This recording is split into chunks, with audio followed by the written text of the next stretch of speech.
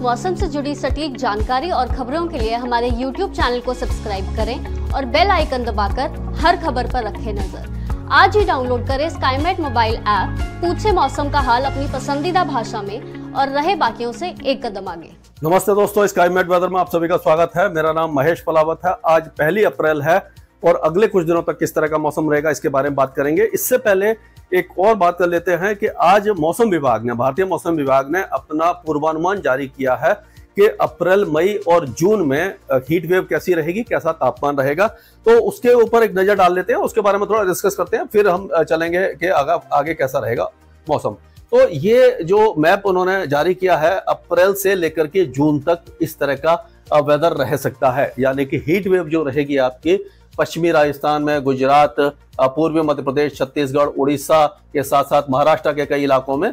और अब जो इंटीरियर कर्नाटका है, केरल है, तमिलनाडु के कुछ इलाके हैं और आंध्र प्रदेश। इस इलाके में काफ़ी ज़्यादा हीट वेव रह सकती है और अप्रैल का महीना अगर देखें तो अप्रैल के महीने में भी जो हीट वेव है, वो कई इलाकों में, मध्य प्रदेश में छत्तीसगढ़ और आपका जो उड़ीसा से लेकर के आंध्र प्रदेश है, तेलंगाना के कुछ इलाके, महाराष्ट्र कर्नाटका, ये सारे इलाके मध्य प्रदेश वगैरह में।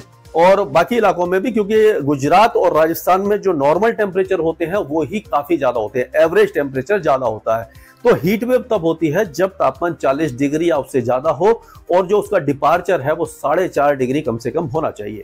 अगर एवरेज टेम्परेचर मान लीजिए आपका जोधपुर का 43 डिग्री है तो उसको हीट वेव डिक्लेयर करने के लिए काफ़ी ज़्यादा टेम्परेचर चाहिए। लेकिन एक और बात है कि अगर 47 डिग्री टेम्परेचर कहीं पर भी पहुँच जाता है तो डिपार्चर के बिना भी हीट वेव डिक्लेयर कर दी जाती है। तो ये जो एक तरह से अगर हम देखें तो जो अप्रैल, मई और जून, ये तीन महीने होते हैं, वो काफ़ी ज़्यादा गर्मी वाले होते हैं।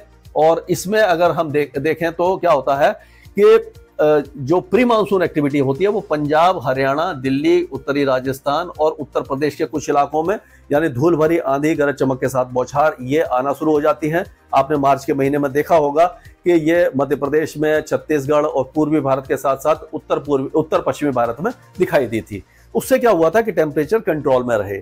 और सबसे बड़ी बात है कि क्लाइमेट चेंज का असर भी पूरी तरह से दिखाई देने लगा है। हम देखते हैं कि जो जो वेस्टर्न डिस्टर्बेंस पहले आते थे, वो थोड़ा सा डिले हुए। इस बार हमने देखा फरवरी और मार्च में काफ़ी ज़्यादा वेस्टर्न डिस्टर्बेंस आए। मार्च के महीने तक जो पहाड़ों पर स्नोफॉल होता रहा, इसीलिए जो मार्च में भीषण गर्मी होती थी दिल्ली, पंजाब, हरियाणा में और पश्चिमी उत्तर प्रदेश में वो दिखाई नहीं दी अब जाकर के तापमान बढ़े हैं। उसको, क्योंकि बीच बीच में वेदर एक्टिविटी हो रही थी। तो ये कारण था एक तो। और दूसरा कारण ये है कि अब क्या है कि ये अगर आगे का प्रोजेक्शन देखें, मैं इस वीडियो में बताऊँगा आपको कि अब जो वेदर एक्टिविटी है, वो उत्तर पश्चिम भारत में तीन और पाँच तारीख को फिर से हो सकती है के बाद वेस्टर्न डिस्टर्ब आएँगे पंजाब, हरियाणा, दिल्ली के आसपास हल्के फुल्के बौछारें पड़ सकती हैं तो टेम्परेचर फिर से थोड़ा सा नीचे गिरेंगे। और ऐसे ही महाराष्ट्र, यानी मध्य महाराष्ट्र विदर्भ, मराठवाड़ा पूर्वी उत्तर प्रदेश, छत्तीसगढ़, इन इलाकों में भी बारिश की गतिविधियाँ और कर्नाटक के कुछ इलाकों में बारिश की गतिविधियाँ छह, सात, आठ अप्रैल को दिखाई दे रही हैं तो उस समय फिर से यहाँ पर टेम्परेचर गिरेंगे हीट वेव का जो चांसेज है, वो कम हो जाएगा। इसीलिए जो जो अप्रैल का मैप है, उसमें आपने देखा होगा कि हीट वेव थोड़ी सी कुछ इलाकों में कम दिखाई दी है। लेकिन जो पूरे, इन तीन महीने का जो प्रोजेक्शन है, उसमें अगर आप देखेंगे तो नॉर्थ वेस्ट इंडिया को छोड़ करके और उत्तर पूर्वी भारत और कुछ जो हिस्से हैं पूर्वी भारत के, इन सब में हीट वेव तो आएँगी, लेकिन इंटेंसिटी इसकी कम रहेगी। लेकिन मध्य भारत और दक्षिण भारत में ज़्यादा रहेगी।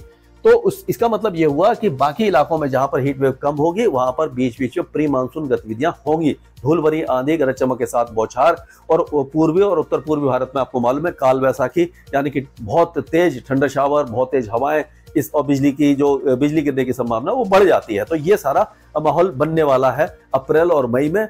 और आपको ये पता है कि मानसून जो है वो एक जून को दस्तक देता है केरल के ऊपर, यानी कि ये एक नॉर्मल डेट है, आगे पीछे हो जाता है थोड़ा। लेकिन क्या होता है कि जून का जो पहला सप्ताह है, उसमें कर्नाटक, केरल और ये नॉर्थ ईस्ट इंडिया जो मानसून है, वो इस तरह से, आपको मालूम है कि इस तरह से वो आगे बढ़ता है। ऐसे करके आगे बढ़ता है।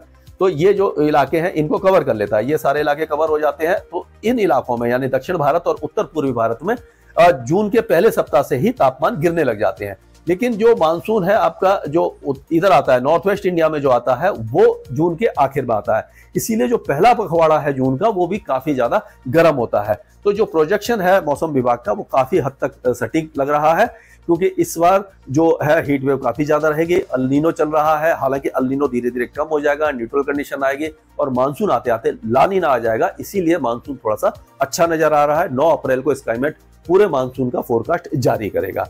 तो ये तो हमने बात करी हीट वेव वगैरह की, लेकिन अब देखते हैं कि क्या रहने वाला है। तो वेस्टर्न डिस्टर्बेंस है, एक ट्रफ है, एक ट्रफ यहाँ पर बनी हुई है, और अब आगे क्या होने वाला है? एक ये वेस्टर्न डिस्टर्बेंस दो तारीख को पहुंचेगा, उसके पीछे एक और वेस्टर्न डिस्टर्बेंस जो पाँच अप्रैल को पहुंचेगा।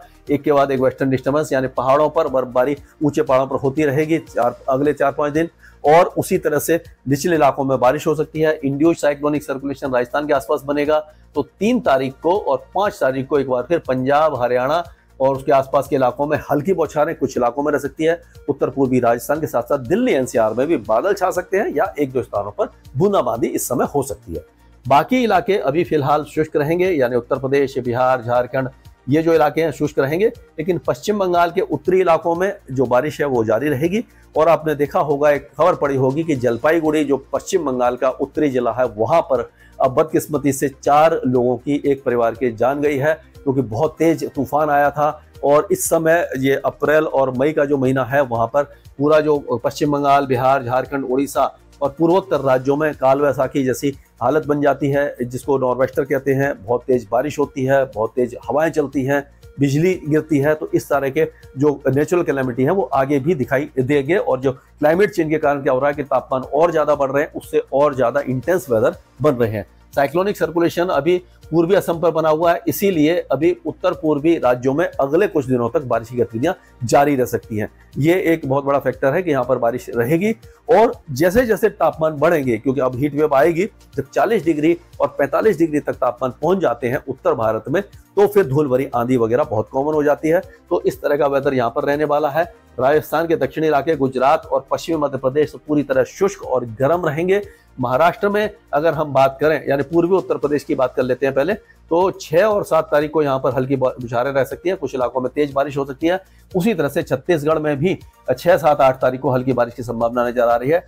विदर्भ और मराठवाड़ा में छह तारीख को हल्की बारिश होगी, लेकिन सात तारीख को महाराष्ट्र के कई इलाकों में तेज बारिश के साथ साथ एक दो स्थानों पर ओले गिर सकते हैं, तेज हवाएँ चल सकती हैं, यानी कि उस समय मौसम बिगड़ेगा तो सही, लेकिन गर्मी से कुछ राहत आपको मिल जाएगी। अभी फ़िलहाल केरल में बारिश की गतिविधियाँ जारी रहेंगी। दक्षिणी अंडमान और निकोबार द्वीप समूह जारी रहेंगे, लेकिन तेलंगाना, आंध्र प्रदेश, कर्नाटक और तमिलनाडु के ज़्यादातर इलाके काफ़ी ज़्यादा सूखे बने रहेंगे।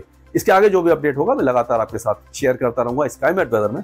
अभी के लिए इतना मौसम से जुड़ी सटीक जानकारी और खबरों के लिए हमारे YouTube चैनल को सब्सक्राइब करें और बेल आइकन दबाकर हर खबर पर रखें नज़र। आज ही डाउनलोड करें स्काईमेट मोबाइल ऐप, पूछे मौसम का हाल अपनी पसंदीदा भाषा में और रहे बाकियों से एक कदम आगे।